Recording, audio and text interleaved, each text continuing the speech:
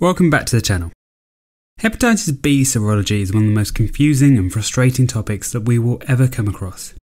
Just as we feel that we get the hang of it and we understand it, all memory of it slips from our brain and we're looking at a set of serology results not knowing what we're interpreting. So we thought we'd do the hard work for you and simplify it. Hep B is a liver infection that's caused by the hepatitis B virus, and testing serology involves looking at the presence of antigens and antibodies to give you an idea of whether the patient has an acute or chronic infection versus whether they're immune from a previous infection or if they're vaccinated. So, pathophysiology. Hepatitis B is transmitted in either blood or bodily fluids, so it's commonly seen via intercourse or blood contact, such as IVDU or needle stick injuries, and also via the delivery of a baby via vertical transmission. In terms of the disease itself, Hep B can range from being asymptomatic all the way to decompensated liver failure and hepatocellular carcinoma, with the latter being more serious presentations affected by the duration of infection as well as the host defense mechanism. So, when we talk about serology, we really need to understand what we're looking for, and that usually involves understanding the viral antigens, viral DNA, and associated antibodies. So, hepatitis B surface antigen.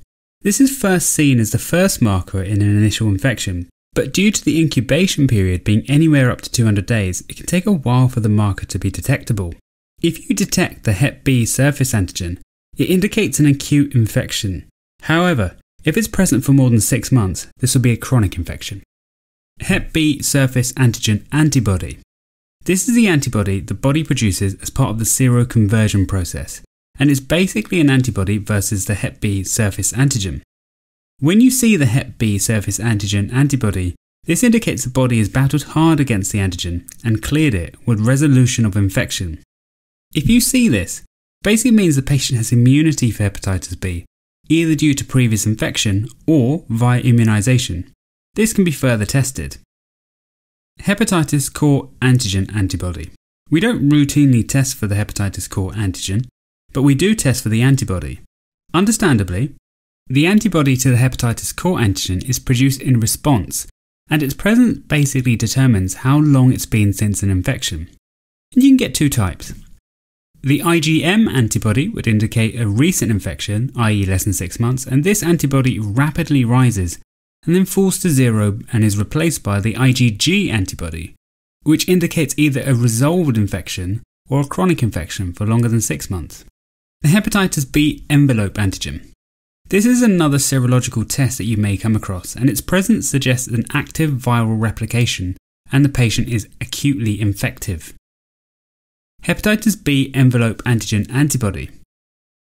The body eventually undergoes seroconversion against the hepatitis B envelope antigen and produces antibodies against it. The presence of this antibody suggests a change from an active infection and disease to an inactive carrier disease. It remains present for life and suggests a natural immunity, and this would not be typically seen in immunized patients. Hepatitis B viral DNA. This is the last serological test we're going to cover, and it's the viral load of Hep B DNA. In simple terms, the more viral load, the higher chance of liver failure, cirrhosis, and hepatocellular carcinoma. So we've tried to simplify this in a table. So, in simple terms, the five scenarios we think you should know are if you've got acute Hep B, you should see the hepatitis B surface antigen, the hepatitis B envelope antigen, the IgM antibody against the hepatitis core antigen, and some evidence of acute viral DNA load.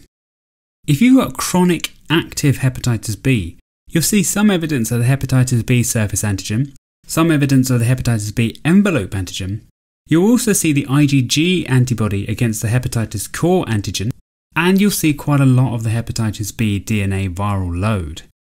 If you've got hepatitis B but you're now a carrier, you'll have the hepatitis B surface antigen, you'll have the antibody to hepatitis B envelope antigen, you'll have the IgG antibody against the hepatitis core antigen antibody, and you may have some but smaller amount of the DNA viral load. In terms of immunity, you really only have two possibilities.